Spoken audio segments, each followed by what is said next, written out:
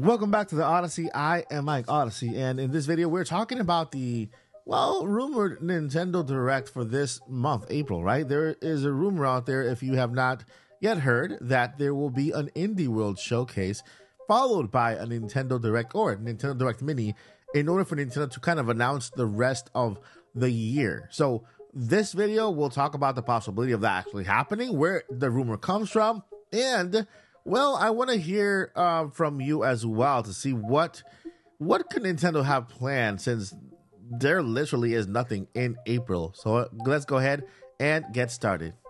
So if this is your first time hearing about this rumor, well, it came from this uh, leaker called uh, I think it's NH or NPMPPH Brazil and well, this leaker was the very first person who actually spoke about the Nintendo Switch 2 delay, therefore gaining some traction and some credibility. And then him basically letting us know that we were getting a Nintendo Indie World Showcase and a Nintendo Direct, one followed by the other. And so that's where it came from in a nutshell. And so right now we are, as of today, is April 18th, or April, sorry, April 8th.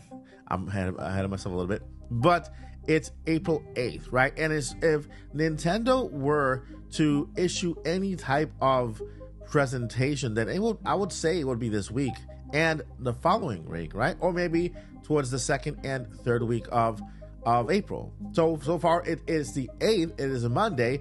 There has no signs of Nintendo issuing any type of basically announcement of a potential Nintendo um, either the Nintendo Indie World Showcase or the Nintendo Direct. But there are signs out there of games that have kind of leaked or maybe come out somehow that could point towards Nintendo having a presentation very, very soon. Now, the game that I'm talking about is Hollow Knight Silksong. It's a game that we've been all been waiting for, for I think for the past two years. And so, Hollow Knight Silksong two major things happened. One, it was listed on the uh, Xbox Game Pass page with a wish uh, list add-on, right? So you can actually go to the Xbox if you have an Xbox and add it to your wish list, so it tells you when is available.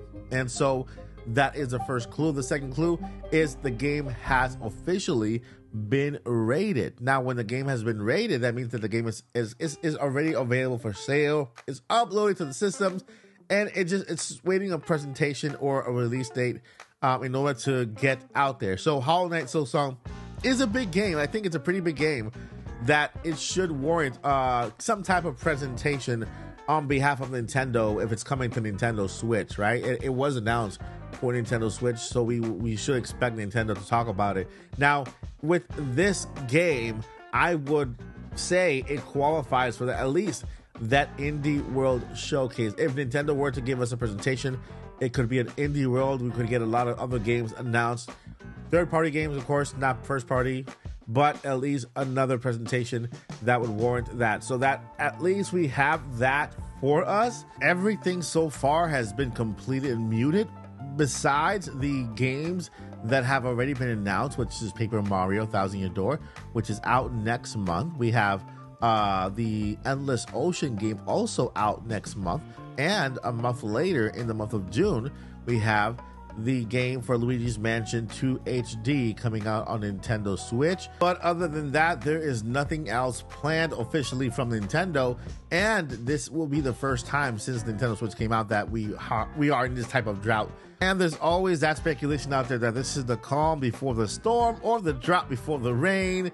And what's coming up next is the Nintendo Switch 2 reveal. Believe me, guys, that's that's what I want more than anything.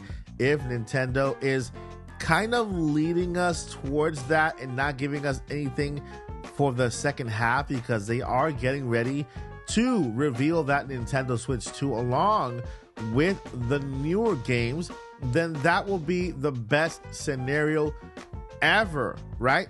The next scenario, of course, yes, Nintendo gives us a Nintendo Direct and they finish off you know the, the, the second part of the year by this time last year and the year prior to that last year we've we've already known what the year looks like at this time and period right by now we should have already known what games are for July, for August, September, and October and November. Nintendo is is very good at giving us the entire year by the month of February. They always use the September Nintendo Direct to give us like the beginning of the next year, and then by the February Direct, they give us the rest of the year, right? And then of course there are some games that are shadow drop here and there along the way in future presentations. But by this time, in prior years, we would have known everything, at least have an idea of what the big game of the year would be. And Nintendo would actually be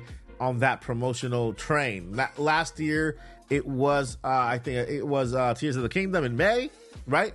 But then we had another game. We had two games in in the month of October, which was Mario Wonder and and Detective Pikachu. They're, they're, those were both big games for Nintendo. Last year was actually a pretty good year when you try to compare last year with this year.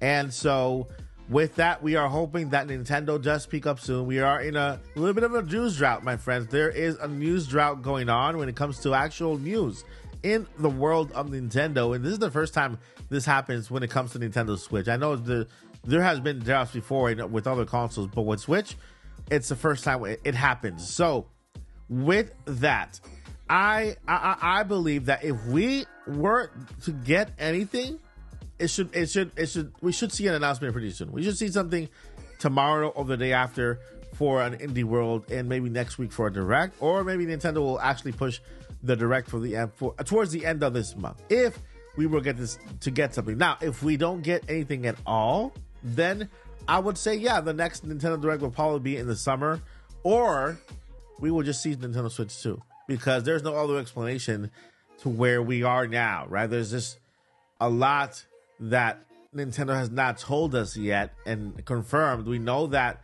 there's been leaks regarding Nintendo Switch 2 and and, and, of course how many consoles we're getting from the beginning. I think around 10 million or more at launch time. And and so all we have is some some leaks here and there and some words from some rumors um, provided by some uh, leakers out there. But that's basically all we have for now. My friends, I want to know what you guys think about the year so far. I want to know are you happy with what Nintendo has given us right now? I want to do a pulse check in this video and and see where you guys stand, right? What do you want Nintendo to do for the rest of the year that would actually let's say make or break this year? Let's go ahead and answer that question. What would make the year for you and what will break the year for you? Uh, I asked a question in the last podcast and we got really good answers, but now I want to hear from you. Let me know down below in the comments and I will answer you. I will heart your comment and continue this conversation down below. Thank you guys so much for watching. I'll see you in the next one. Before I let you go, never give up. Journey on. Peace.